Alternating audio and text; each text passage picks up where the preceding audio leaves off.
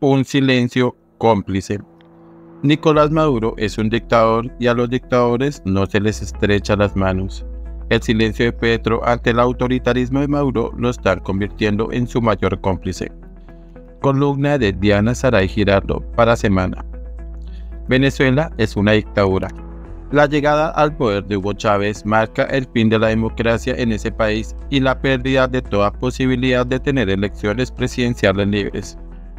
Desde el inicio del gobierno de Chávez en 1999, el autoritarismo se implantó en Venezuela, que luego en manos de Nicolás Maduro arreció cada vez más hasta destruir en su totalidad la institucionalidad de un país, que pasó de ser el más rico de Latinoamérica gracias a la renta petrolera, a tener, según cifras de la encuesta sobre condición de vida, al 53,3% de los venezolanos en situación de pobreza extrema y a ser el país más desigual del mundo. Como consecuencia, cerca de 5 millones de venezolanos han abandonado su país. Año tras año, la oposición política ha buscado de todas las formas derrotar a Nicolás Maduro, pero el chavismo siempre ha encontrado la manera de salir ganador en elecciones ilegítimas, y esta vez tristemente parece que no será la excepción. En octubre del año pasado, la oposición venezolana y el gobierno de Maduro adelantaron unos diálogos con miras a tener elecciones libres. Como consecuencia de estos diálogos se firmó el Pacto de Barbados, un acuerdo que supuestamente permitiría que la oposición de Venezuela participara en las elecciones presidenciales de julio de 2024 con todas las garantías electorales. Esperanzados en que Maduro cumpliría su palabra, el gobierno de Estados Unidos apoyó el acuerdo y anunció que levantaría las sanciones impuestas a Venezuela de manera temporal para que adelantara transacciones en los sectores gasífero y petrolero principalmente pero el mayor gesto de apoyo e ingenuidad del gobierno de Joe Biden fue liberar a Alex Saab a cambio de la libertad de cinco prisioneros políticos detenidos injustamente en Caracas. Pero ningún dictador tiene palabra, y después de que Maduro tuvo a Saab en casa, el Tribunal Supremo de Venezuela, órgano cooptado por el chavismo, decidió que María Corina Machado estaba inhabilitada para ocupar cargos públicos y por lo tanto no podía ser candidata. A pesar de la insistencia, el gobierno Maduro no cedió y no permitió la participación de María Corina. A pocas horas de que se cerraran las inscripciones, María Corina Machado cedió su candidatura a la literata Corina Lloris, quien asumiría el reto de aspirar a la presidencia. Pero sin que hasta hoy haya explicación, la Mesa de la Unidad Democrática de Corina Lloris no pudo acceder a la plataforma de inscripción y se quedó por fuera. Ante el evidente abuso de poder y por los reclamos internacionales, el chavismo le dio un par de horas a la plataforma unitaria para sacar un candidato de la manga e escribirlo.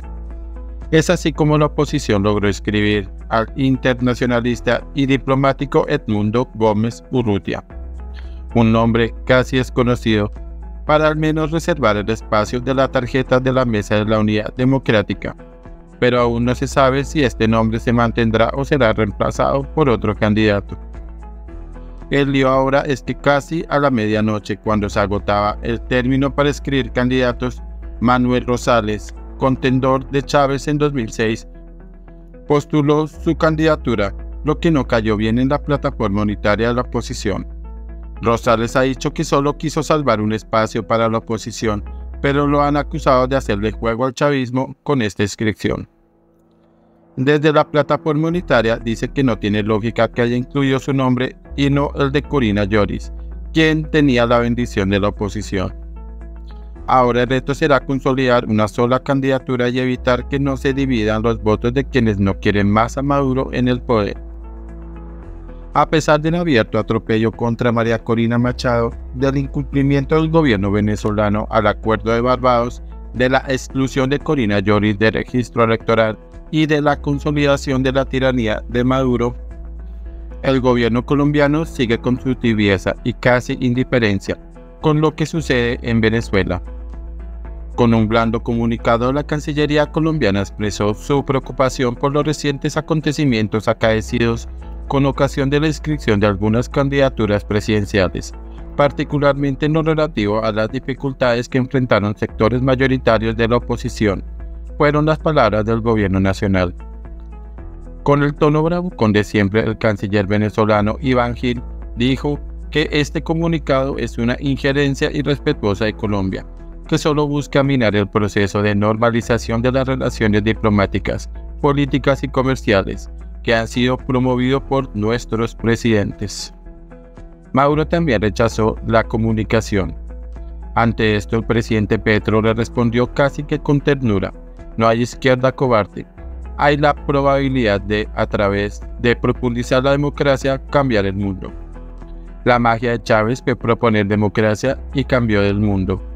La magia de Chávez la magia de Chávez fue destruir su país y acabar la democracia, jamás profundizarla. Es vergonzosa la tibieza de este gobierno con los desafueros de Nicolás Maduro. Mientras Petro muestra los dientes y amenaza con romper relaciones con Israel si no respeta el cese del fuego en Gaza, parece ciego y sordo ante el abuso constante del régimen venezolano. Es una pena para nuestro país que el presidente Petro sea hoy el principal aliado de Nicolás Maduro en Latinoamérica y que, no contento con hacerse el de la vista gorda con los abusos de Maduro, insista en diseñar un futuro de asociaciones económicas con Venezuela Nicolás Maduro es un dictador y a los dictadores no se les estrecha las manos. El silencio de Petro ante el autoritarismo de Maduro lo están convirtiendo en su mayor cómplice.